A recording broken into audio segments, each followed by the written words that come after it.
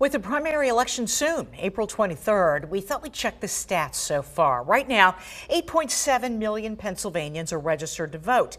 3.8 million of them are Democrats, 3.4 million are Republicans. We are truly a purple state. The rest are no affiliation or third party. Pennsylvania's primary is closed, meaning people registered Republican can only vote for Republicans and only registered Democrats can vote for Democrats in a primary election.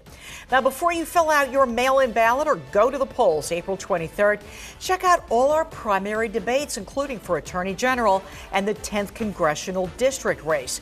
You can scan the code right there on your screen or just go to abc27.com slash debates, and there you'll also find the latest election news.